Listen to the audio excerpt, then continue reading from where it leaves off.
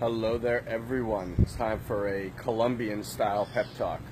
So, I just had a thought about the misconception of this concept of I'll see it, I'll believe it when I see it.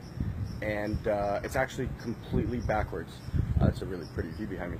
Um, it's completely backwards. And a lot of people just wait for stuff to happen because they think, like, oh, when this business creates this amount of money, then I'll start believing in it. When this person shows up in my life, then I'll know that I'm on the right path.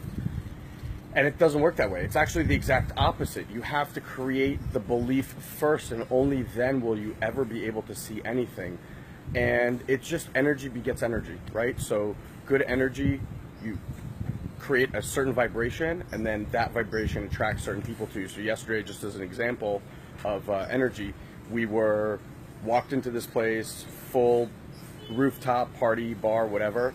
And uh, next thing I know, I go to some guy, ask him if we can sit on the couch. Turns out that that's the organizer of the whole party and his friend who's the PR.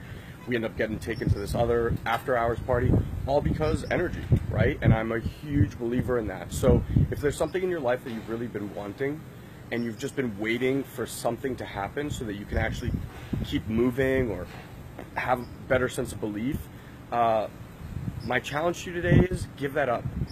Create the belief, and I promise you the seeing will happen. And uh, on that note, I'm going to believe myself into a pool.